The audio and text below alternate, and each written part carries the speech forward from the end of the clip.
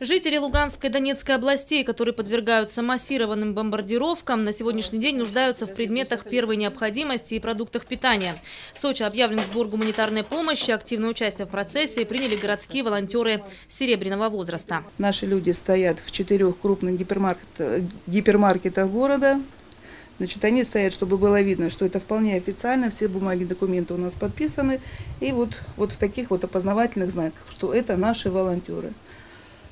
Э, переносные ящики, в которые жители города и гости курорта оказывают гуманитарную помощь. Вы видите, они опечатаны, опломбированы. Опечатанные ящики вскрываются, все купюры переписываются и подсчитываются в присутствии комиссии. Деньги поступают на расчетный счет Красного Креста. Акция продлится до 15 июля.